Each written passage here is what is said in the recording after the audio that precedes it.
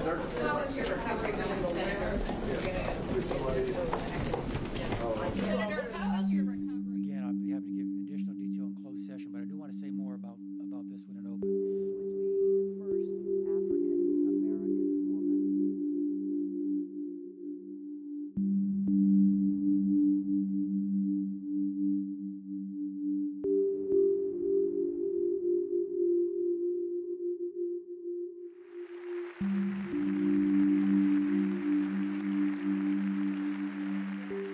It's crucial that the nominee who replaces Judge O'Connor, Justice O'Connor, not only be intelligent and well qualified, but balanced and fair.